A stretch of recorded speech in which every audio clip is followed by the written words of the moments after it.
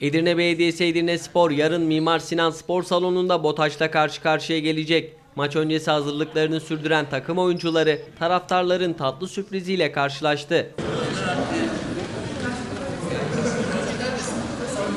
Bir grup taraftar takım oyuncularına getirdikleri kavalı kurabiyesinden ikram etti. Edirne Belediyesi Edirne Spor Genel Menajeri Sanem Helvacı Köylü kendilerine destek olan taraftarlara teşekkür etti. Bugün taraftarlarımız antrenman sonrası e, bizlere tatlı getirdiler. Hem antrenmanımızı izlediler. Kendilerine çok teşekkür etmek istiyorum ben. Bizlere her zaman her yerde destek oldukları için, bizi hiç yalnız bırakmadıkları için hepsine çok teşekkür etmek istiyorum. Yarın saat 17.30'da oynanacak olan maçın çok önemli olduğunu belirten Helvacı Köylü, bu maç bizim için lig mücadelesindeki en önemli maçlardan birisi. Taraftarlarımızın bu maçta bizi yalnız bırakmamasını istiyoruz dedi. E, cumartesi günü e, Kadınlar e, Basketbol Süper Ligi'nin belki de en önemli maçlarından birisini e, cumartesi günü Botaş'a karşı oynayacağız.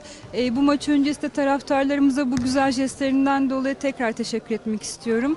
Bu maç bizim için e, lig mücadelemizdeki en önemli maçlardan birisi.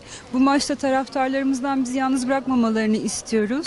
Cumartesi günü herkesi, hepsini e, Mimar Sinan Spor Salonu'na bekliyoruz.